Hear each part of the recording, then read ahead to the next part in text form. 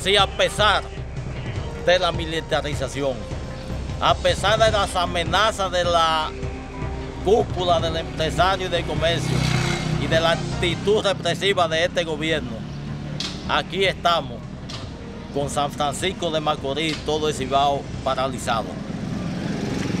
No le dio resultado haber convocado una manifestación sin precedente en este país, que un gobierno haya convocado a un mitin contra una huelga.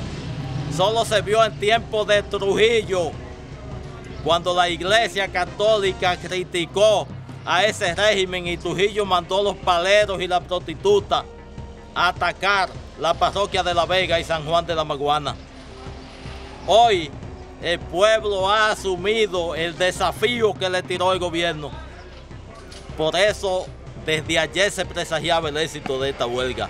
Ellos convocaron a una actividad en el parque y no han podido subir ni una foto porque fracasaron. Y la gran caravana motorizada del colectivo ayer fue un desborde de pueblo. El pueblo no está dispuesto a mantenerse pasivo mientras este gobierno le alza el costo de los combustibles, la comida, la tarifa eléctrica, que también los comerciantes lo sufren y hoy por eso han cerrado su puerta.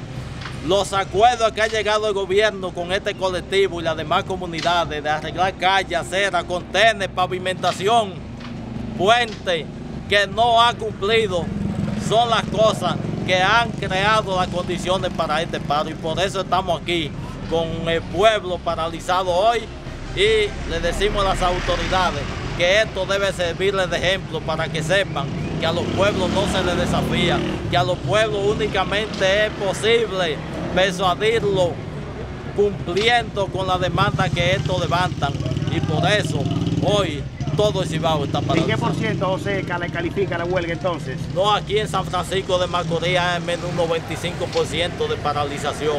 Este paro ha sido prácticamente total, a pesar de que algunos comerciantes de la cúpula empresarial abrieron su puerta a primeras horas de la mañana, tuvieron que cerrarla porque tampoco fue nadie a comprarla.